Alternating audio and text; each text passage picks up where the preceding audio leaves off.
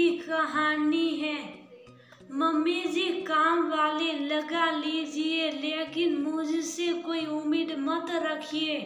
दोस्तों, कहानी शुरू करने से पहले, अगर आपने चैनल को सब्सक्राइब नहीं किया हो तो कर लीजिए, ताकि आपके पास पहुँच सके।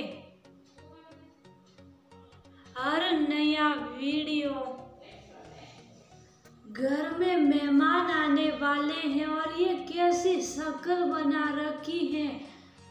कभी कभी आईना भी देख लिया करो। अमन ने सिरते हुए अपनी पत्नी नैना से कहा अमन, तुम तो ऐसे बात मत करो प्लीज़ सब बोलते हैं। मैं फिर भी सहन कर लेती हूँ, लेकिन तुमसे तो थोड़े से प्यार की उम्मीद करती हूँ। आखिर पत्नी हूँ तुम्हारी, आजकल मेरी तबीयत ठीक नहीं रहती। इधर पीरियड्स भी गड़बड़ सर हर समय थकावट लगी। रहती है, ऐसा लगता है बस आँखें बंद कर लेटे रहो, कोई काम करने का मन नहीं करता। इसलिए बहुत धीमी गति से सारे काम निपटाती हूँ। तो घर में सबको लगता है कि मैं जानबूझ कर अपनी तबीयत खराब होने का नाटक करती रहती हूँ। नैना ने बहुत धीमी आवाज़ में अपनी बात कही। और अगर आगे कुछ बोलती तो सस में रोने लगती, नैना, ये सब तो ज़िंदगी में चलता ही रहता है। हर समय रोना रोना अच्छा नहीं लगता। चलो उठो और अपना चेहरा सही करो, वरना मेहमान क्या कहेंगे? कैसी बहू है जिसके चेहरे पर जरा भी रौनक नहीं है? उन्हें लगेगा कि हमें उनका आना अच्छा नहीं लगा। अमन की बातें सुनकर नैना का दिल कट कर रह गया, लेकिन ये समय कुछ कहने से कोई फ़ायदा नहीं।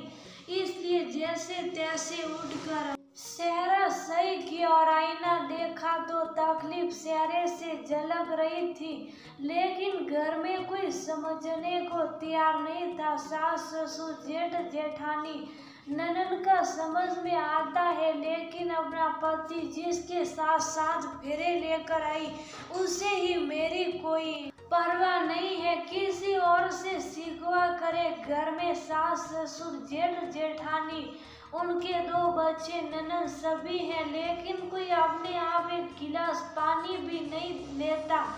जेठ जेठानी दोनों सर्विस करते, इसलिए जेठानी जी सुबह जेठ जी के साथ घर से निकल जाती और शाम को उन्हीं के साथ आती, फिर तो वो रसोई घर में जागती भी नहीं। एक तो कमा सुख बहू इसलिए सबकी दुलारी थी, इसलिए सासू माँ उनसे किसी काम के लिए नहीं कहती थी, जबकि वह अपनी तनख्वाह में से एक पैसा भी घर में खर्च नहीं करती।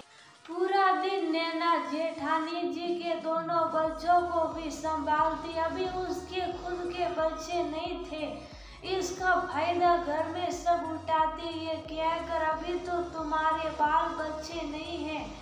तो तुम्हारे पास क्या काम रहता है? नैना को भी कोई परेशानी नहीं होती बच्चों को संभालने में। ननन जी के तो क्या ही कहने, जेठानी तो सर्विस करती थी, घर से बाहर रहती थी, लेकिन वह तो घर में रहते हुए भी मेहमान थी।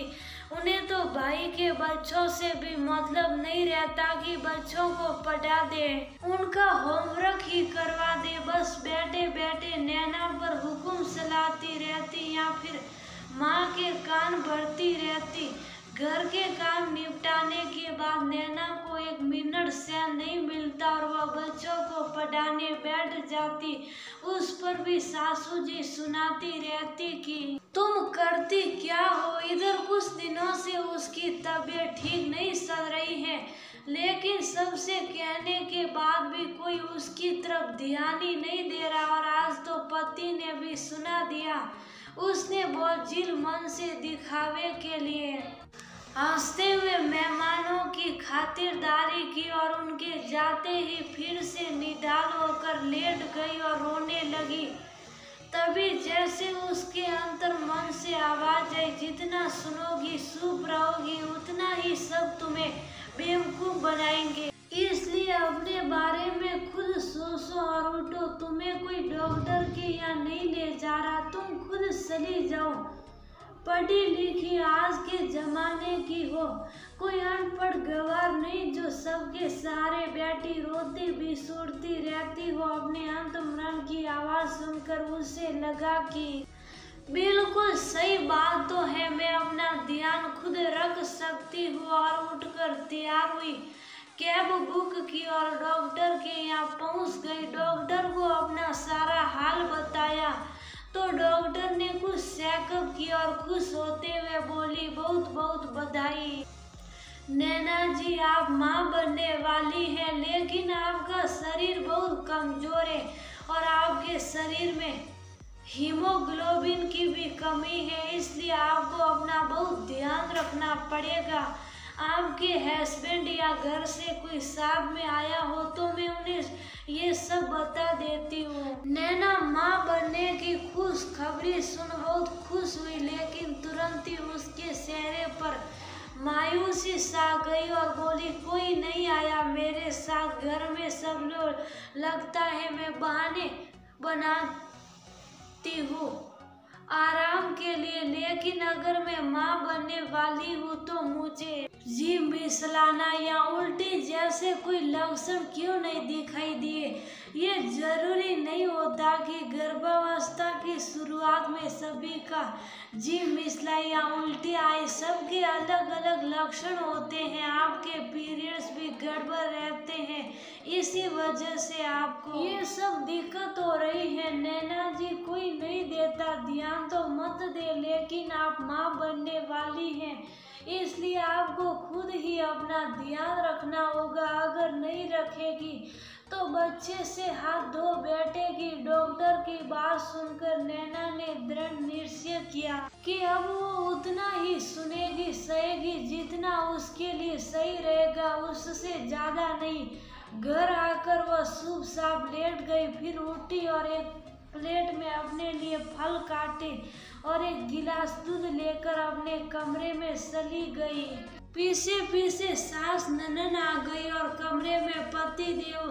तो बोलने के लिए तैयार बैठे ही थे। ये क्या तरीका हुआ? घर में किसी को भी खाना नहीं पूछा और ना ही परोस कर दिया और अपने लेकर बैठ गई। महारानी जी, अब से ऐसा, रोज ऐसा ही होगा। मम्मी जी, अब मैं माँ बनने वाली हूँ, इसलिए अपना ध्यान सबसे पहले रखूँगी। किसी और का ध्यान क्यों रखूँ? जब मैं परेशान थी, तब किसी ने मेरी एक नहीं सुनी, कोई मुझे डॉक्टर के पास तक नहीं लेकर गया। ये मेरे पति आप लोगों के साथ ताने देने में हर समय आगे रहते थे, लेकिन पति धर्म निभाने में सुख गए। डॉक्टर ने साफ़ साफ़ शब्दों में कहा है कि मेरा शरीर बहुत कमज़ोर है, हीमोग्लोबिन बहुत कम है। अगर मैंने अपना शायद बच्चे से हाथ धो बैठूं और फिर कभी माँ भी ना बन पाऊँ, इसलिए आप लोग अपने घर के काम खुद करिए, या फिर काम वाले लगा लीजिए, लेकिन मुझसे कोई उम्मीद मत रखिए। नैना के मुँह से ऐसी बातें सुनकर सब हक्के बक्के रह गए और सब नाराज़ होकर वहाँ से चले गए। पति अमन को ज़रूर अपनी गलती पर अफसोस और उन्होंने आगे बढ़कर पत्नी को संभाला। बधाई दी और अपनी गलती की माफ़ी भी मांगी। नैना, सबसे बड़ी गलती मेरी है। लेकिन अब और नहीं, मैं तुम्हारा पूरा ध्यान रखूँगा क्योंकि मैं भी तो पापा बनूँगा। अमन के मुँह से ऐसी बातें सुनकर नैना को बहुत अच्छा लगा। अगर आज वह अपने लिए आवाज़ नहीं उठाती तो हमेशा के लिए इस घर में कोई उसकी कीमत नहीं समझता। सब ऐसे ही उसका फ़ायदा उठा